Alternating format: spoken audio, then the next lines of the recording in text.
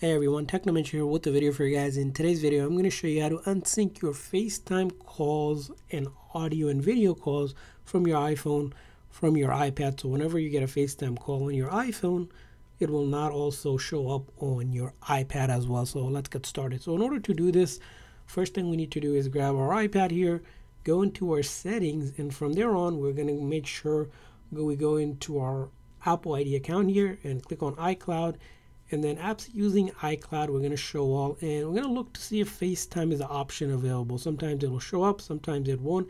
Now, if it is, you're simply going to turn that setting off just like that, and you're just going to turn it off like this one, right? I have turned it off, but I don't have FaceTime here. Another setting you need to check out is if you have FaceTime down here in this setting, and you see FaceTime is turned on, that means it's using the same Apple ID account from my iPhone. So all the FaceTime calls will also come appear here. So I need to go ahead and turn FaceTime off completely and then click on somewhere else and like iMessages and then click on FaceTime and make sure this is grayed out.